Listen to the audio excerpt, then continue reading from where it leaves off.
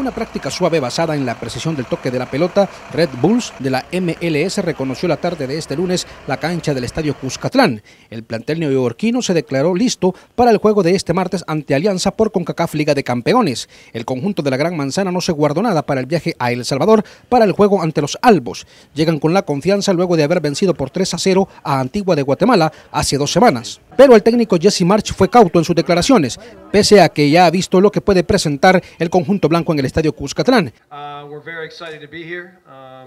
eh, hemos visto jugar muchas veces Alianza creemos que han tenido un poco de mala suerte hasta la fecha en el torneo, eh, pero es un equipo que juega muy bien. Estamos muy emocionados de disputar este partido aquí en ese estadio importante, torneo y lo que representa y por eso hemos venido a jugar, a, a jugar un partido mañana.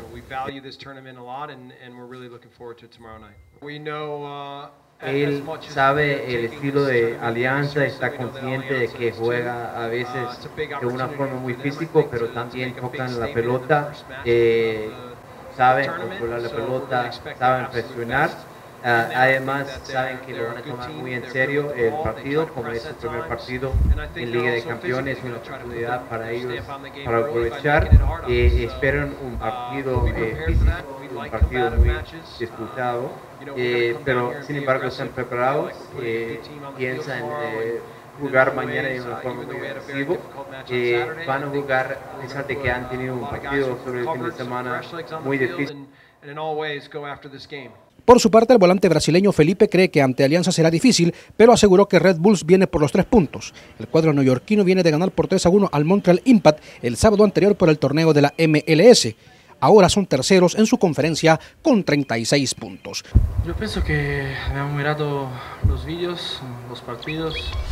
Creo que es un equipo con mucha cualidad, eh, pero seguramente sabemos que el atacante... Eh, muy, muy peligroso, tener también un lateral el medio campo, pero en todos los repartos son jugadores que saben jugar, que tienen cualidad y entonces sabemos que, que va a ser un partido muy difícil, pero bueno, eh, hemos venido acá para conseguir los tres puntos y vamos a jugar uh, y hacer los partidos lo más uh, difícil posible para ellos, entonces sabemos que era un, un importante partido y vamos a dar todo.